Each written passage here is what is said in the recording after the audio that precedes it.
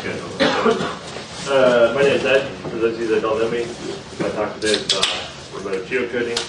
Um, okay, so first, for those of you that don't know, but I expect probably everyone who has an interest in geocoding knows, geocoding is the process whereby given some uh, information, uh, a string, usually a place name or something, we turn that into coordinates.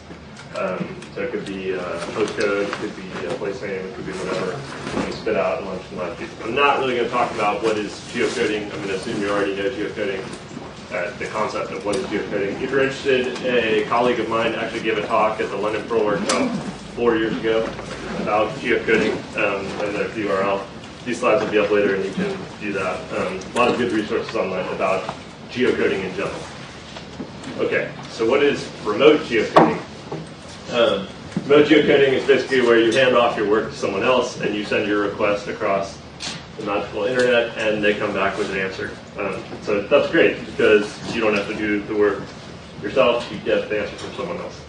Um, the problem with remote geocoding is that there are a lot of different people who offer a remote geocoding service. Um, so this ranges from the big names of the internet, the Googles, um, Bing, or Microsoft, Yahoo, um, MapQuest, which is owned by AOL, um, all the way through to startups like CloudMade. Uh, Simple Geo is a new one in the US that's getting um, a lot of uh, buzz lately. Um, and then, of course, there are actually even open source um, services like OpenStreetMap. These are just some. There are a lot of others. Um, so with each one, I've put the relevant uh, relevant Perl module that you could use. Um, pretty much the naming convention has been geo colon colon coder colon colon name of the service.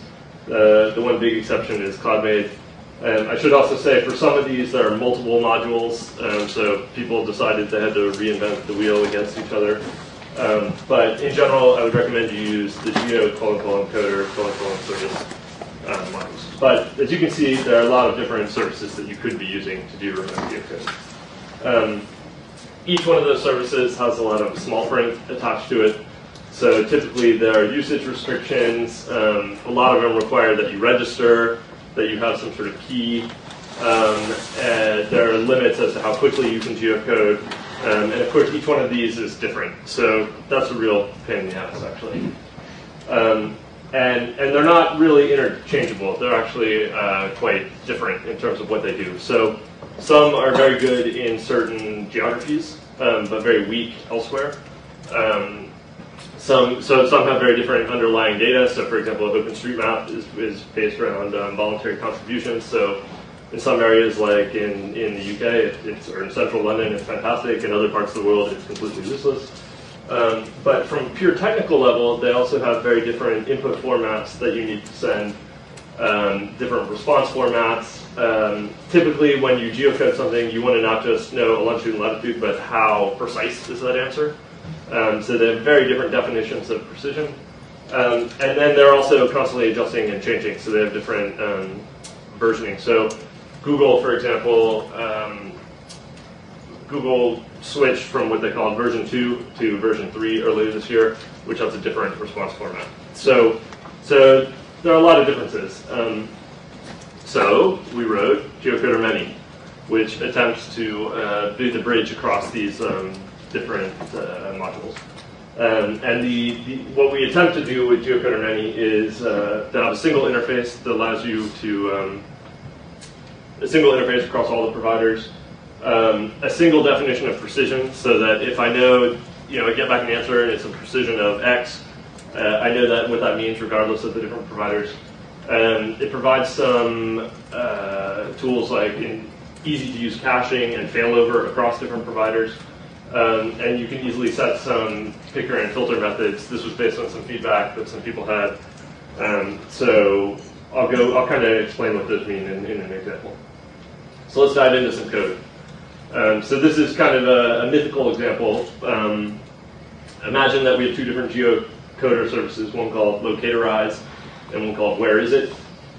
Um, so these are different services. Uh, so I set up, I use geocoder many. If you want, you can use geocoder many util, which provides, as I said, some of the, the filters. Um, okay, so the first step is I need to make my geocoder many object. And I, I give it a cache and I can say what type of scheduler I want. So how often do I, how do I want to divide up which, which underlying geocoder I use? In this case, we're going to use a, a weighted round robin. And I create my geocoder many object. There are other schedulers provided by default, and you could also write your own scheduler if you want. Okay, so now, unfortunately, I still have the work of setting up my underlying geocoders. I create a locatorize, you know, give it whatever inputs you need. In this case, let's say you need an app ID. Here we see that Locatorize has a daily limit of 2,500 requests. I add that to my geocoder many. I do the same thing with where is it. That has a daily limit of 4,000 requests. So now I'm ready to start um, geocoding. However, I want to um, filter my results. So this is an example of some of the additional features that geocoder many lets you do. Um, so let's say I want only results from the United Kingdom. Um, in the UK, we have the problem that uh, because everyone here speaks English, um, a lot of place names are duplicated with other countries like Australia, Canada, the US. So you could say, only, only give me results from the UK. You can also set a picker callback. So choose of the answers I get that are from the UK, show me only the one, give me back only the one that has maximum, the highest precision. Of course, you could also get back all results, all these kinds of different things. So it's quite a flexible tool to um, allow you to filter or select the results. And of course, um, country filter is one of the, the predefined filters. You could also define your own and in your own callback function to, to do whatever you need to do. All right, so I stick in my address as a string, and I get back all these different fields. Um, so most notable here is you get back a longitude and latitude, of course. Um, you also get back a response code, um, which you can then use to do different, different things with. Um, you also can find out which geocoder was actually used. Um, and behind the scenes, it will do intelligent failover. It'll try one. If that doesn't work, it will try the other. Um, and it will try them, of course, according to our weighted round robin uh, distribution. Um, different possible response codes. You can get success, success from the cache. Uh, you know, it might be that all the geocoders were unable to find the location if you give it, you know, if I give it a string like ABCDEFG, you know, no geocoder is going to find the result for that. Um, or you might have hit the limits on where your geocoder. Okay, so um, we've made some good progress on geocoder Many, but there's still a lot to do. So we'd love it if anyone wants to help out.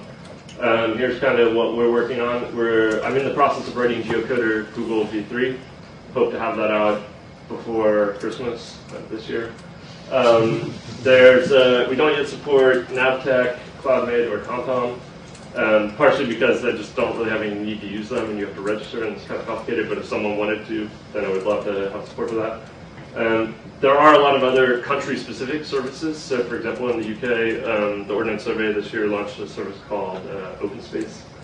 Um, I'm not that familiar with it, with it, but if someone wants to provide support for those, that'd be great. Um, if you're just a user, give us some feedback. Some of the ideas that we've had have come because of feedback, like, for example, the callback functions.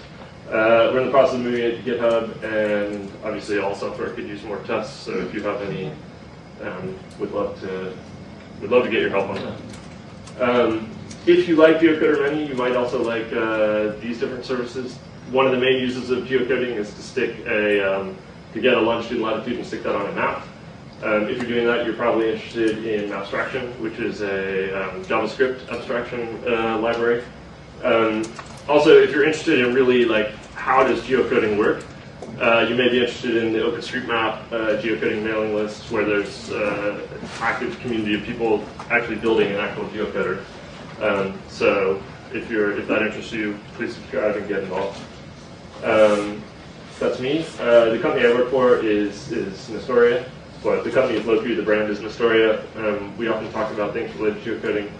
So if you're interested, please um, please follow us.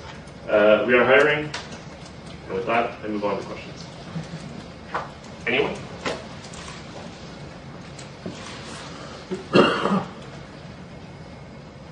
All right. I look forward to your patches then. Thanks.